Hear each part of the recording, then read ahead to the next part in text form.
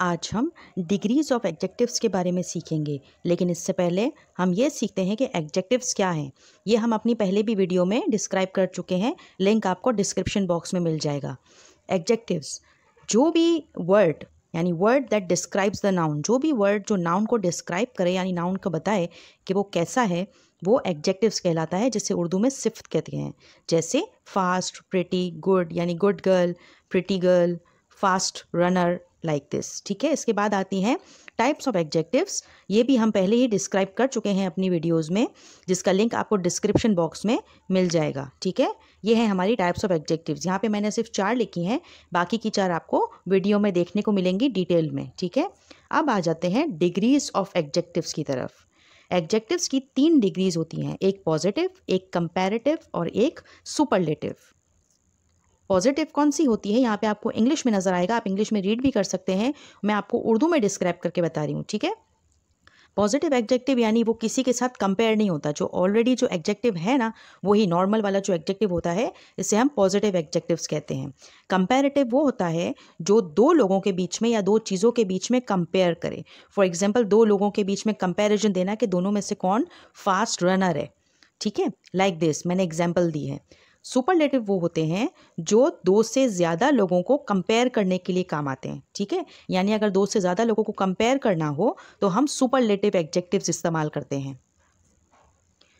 एग्जेक्टिव्स with two साइलेबल्स ये साइलेबल्स वो होते हैं जो हमने कहा था ना वर्ड के हिस्से करना। अल्फाज के हिस्से करना। इसकी भी मैंने एक वीडियो बनाई है, जिसका लिंक आपको डिस्क्रिप्शन बॉक्स में ईजीली मिल जाएगा। तो इसमें जो टू साइलेबल वर्ड्स होते हैं, उसकी जो कंपेरेटिव बनती है, वो ई आर लगा के बनती है, और जो मोर देन टू साइलेबल होते हैं, उसमें हम मोर लगाते हैं। और उसकी सुपरलेटिव के लिए हम ई एस टी लगाते हैं, या फिर मोस्ट लगाते हैं, ठीक है? हमेशा याद रखें कि जब भी आप सुपरलेटिव एग्जेक्टिव कहीं भी यूज़ करें, उससे पहले द ज़रूर लगाएँ, ठीक है?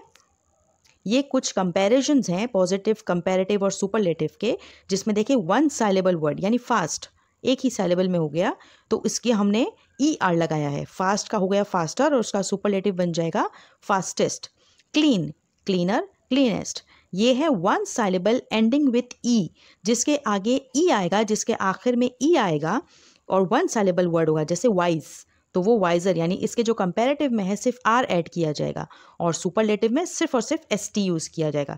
Simple simpler simplest two syllable ending with Y यानी जितने भी जो साइलेबल्स होते हैं टू साइलेबल वर्ड्स होते हैं एग्जेक्टिव्स uh, होते हैं उसके आगे हम वाई हटाकर आई ई आर कर देते हैं उसके कंपेरेटिव में और सुपरलेटिव में उसका आई ई एस टी हो जाता है। यानी वाई हट जाएगा स्किप हो जाएगा और आई ई आर कंपेरेटिव में और सुपरलेटिव में आई ई एस टी हो जाएगा। जैसे busy B G two syllable word है ठीक है? बिज़ी बिजियर हो जाएगा बिजिएस्ट हो जाएगा ठीक है? एक मैंने ऊपर पिक्चर के ज़रिए एग्ज़ाम्पल दी है शॉर्ट शॉर्टर शॉर्टेस्ट ये है थ्री और मोर साइलेबल्स ठीक है? थ्री और मोर देन थ्री सैलेबल्स यानी तीन सैलेबल या तीन सैलेबल से ज़्यादा जब वर्ड्स होते हैं एग्जेक्टिव होते हैं तो उसके आगे मोर लगा दिया जाता है। ठीक है? क्रिएटिव का हो जाएगा more creative most creative beautiful का हो जाएगा मोस्ट ब्यूटीफुल ये इसकी सुपरलेटिव होगी और कंपेरेटिव होगी इसकी मोर ब्यूटीफुल ठीक है? साइलेबल्स आपको इसके लिए सीखना बहुत ज़रूरी है, जिसका लिंक आपको डिस्क्रिप्शन बॉक्स में मिलेगा। ये वीडियो आप ज़रूर देखें तो आपको और अच्छे तरीके से क्लियर हो जाएगा कि साइलेबल्स क्या होते हैं और इनके यूजेज क्या होते हैं। इनका सबसे ज़्यादा यूज़ एक्जेक्टिव्स में होता है, ठीक है? ये कुछ इरेगुलर एडजेक्टिव्स हैं, जैसे बैड का वर्स वर्स्ट हो जाता है मच का मोर या मोस्ट हो जाता है गुड बेटर बेस्ट हो जाता है। ये इरेगुलर एडजेक्टिव्स होते हैं, जिसके कंपेरेटिव और सुपरलेटिव बिल्कुल डिफरेंट हो जाते हैं।